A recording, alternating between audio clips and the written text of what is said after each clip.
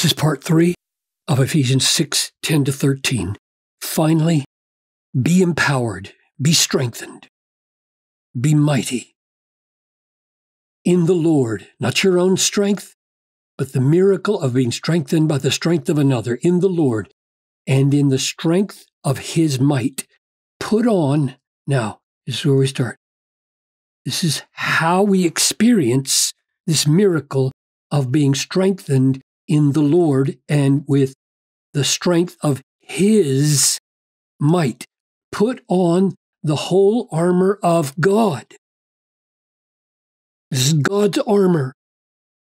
When we wear it, we are wearing an armor from God, provided by God, empowered by God, that you may be able to stand. That's the goal here, the goal here. That's the goal of this text to stand against the schemes of the devil.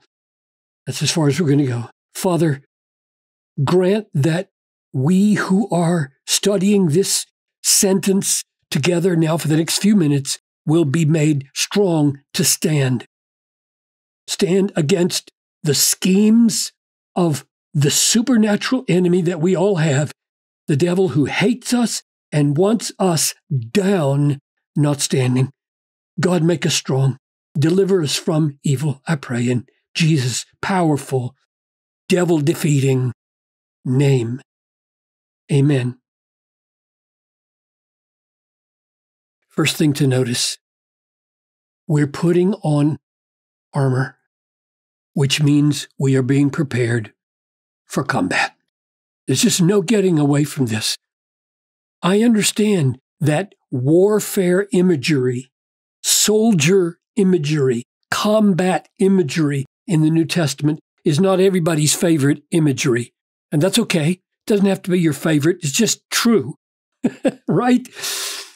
We are being fitted for combat here. We're not being fitted for games. That's another image in the New Testament.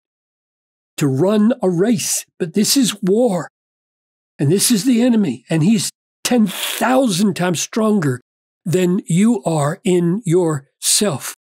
We're not being made strong here merely to play games. We're not being made strong here merely to stand and make money, stand and get healthy, stand and be successful in the world. We're being made strong to stand and triumph over the devil who wants us not to stand. So if you're in a combat and you've got all kinds of armor on, if you fall down and you can't get up because you're so laden with armor, you're done for. The horses are going to trample you. The enemy soldiers running by are going to thrust their swords into you. You've got to stand or you're gone. And that's life. That's the picture here, right? He, he's preparing us for combat. Now, let's acknowledge this. This word schemes is used one other time in the New Testament. It's right here in chapter 4. He gave some apostles prophets, evangelists, shepherds, teachers to equip the saints. Now, this is different imagery than, than uh, armor, right? This is equipment for the saints, for the work of the ministry, for the building up of the body of Christ, until we all attain to the unity of the faith, of the knowledge of the Son of God, to mature manhood, to the measure of the stature of the fullness of Christ. Now, those are the pieces of armor here, but that's not the imagery. It's not warfare here. It's what? So that we may no longer be children. This is the new, this is a different image, right? We are supposed to move from babies and immature and helpless to fullness of maturity. So the, the weapons here are unity of faith, knowledge of the Son of God, mature manhood, measure the stature of the fullness of Christ, no longer being children, so that what happens? No longer tossed to and fro by the waves and carried about by every wind of doctrine and human cunning by craftiness in deceitful schemes. That's the word. It's the only other time that this word back here, schemes of the devil, is used. And so deceitful schemes here are demonic schemes, but the devil's not mentioned here. Human cunning is mentioned here. False doctrines are mentioned here. And we're not pictured as um, soldiers putting on armor. We're pictured as children growing up. Grow up, Christian, grow up.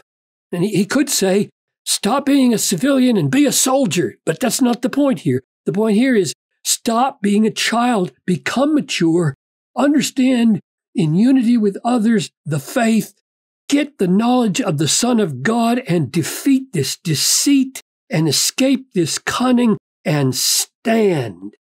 Right? It's, this is all the same idea, only it's not in warfare imagery like it is here.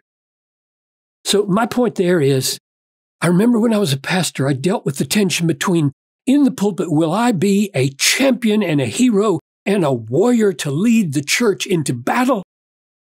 Or will I be a compassionate, wise, tender, caring father? Will I be a brother?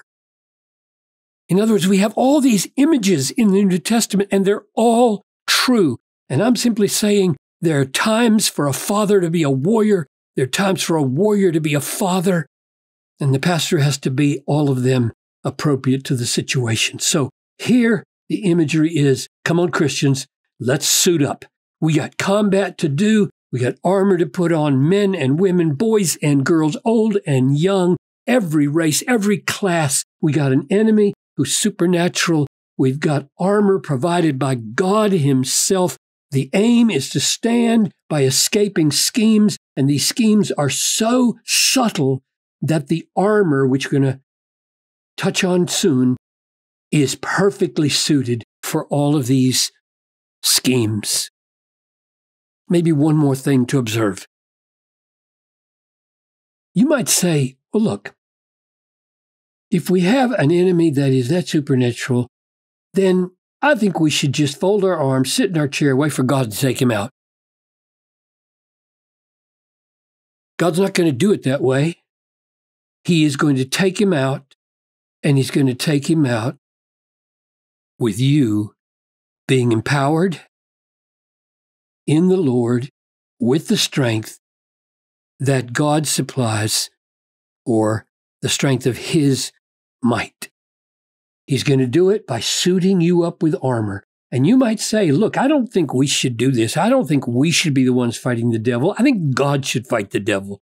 And we should watch and then give him glory because he gets the victory while we watch. And it's just not, you can be wiser than the Bible if you want, but don't do it. It won't lead you anywhere good. He, God is going to defeat his enemy and he's going to defeat his enemy with his people. That's what the text says. So put on the whole armor of God and get in the battle. Why might he do it that way? God means to glorify Jesus by our defeating the devil in the strength of Jesus. Isn't that it? Be empowered with the strength of the Lord so that when you put on the armor and defeat the devil, the Lord gets the glory. That's the, that's the strategy that God has. We might think it should be another way, but it's not going to be another way. Here's the picture of why that is so crucial. Here's First Peter. As each has received a gift, use it to serve one another as good stewards of God's varied grace. Whoever speaks as one who speaks oracles of God, Whoever serves as one who serves by the strength that God supplies. Now that's the same as be empowered in the Lord in the strength of his might. So serve by the strength that God supplies. Why? In order that in everything God may be glorified. The giver of the strength gets the glory for the victory. To him be glory and dominion forever. So back here, you be empowered in the strength of the Lord's might so that when you defeat the schemes of the devil with the armor of God and stand, God gets the glory, the Lord gets the glory. That's why God ordains that we be in the battle. He means for us to share in the victory so that we are among those who give him the glory for the strength he gave us to defeat the devil. So now we're going to find next time that the devil has lots of servants. Right here. Next time.